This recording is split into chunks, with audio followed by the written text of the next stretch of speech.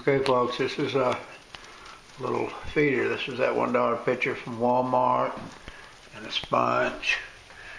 Like these little sponges, the pitcher. This is basically this setup, all right? Yourself a rhododendron. See that monarch? Nectaring, see the proboscis? That's right.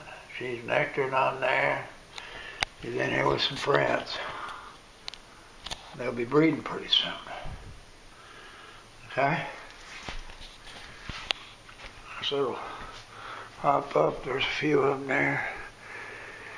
One, two, three, four, five males and females.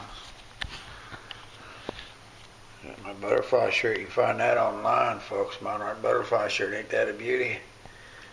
Craig the butterfly man.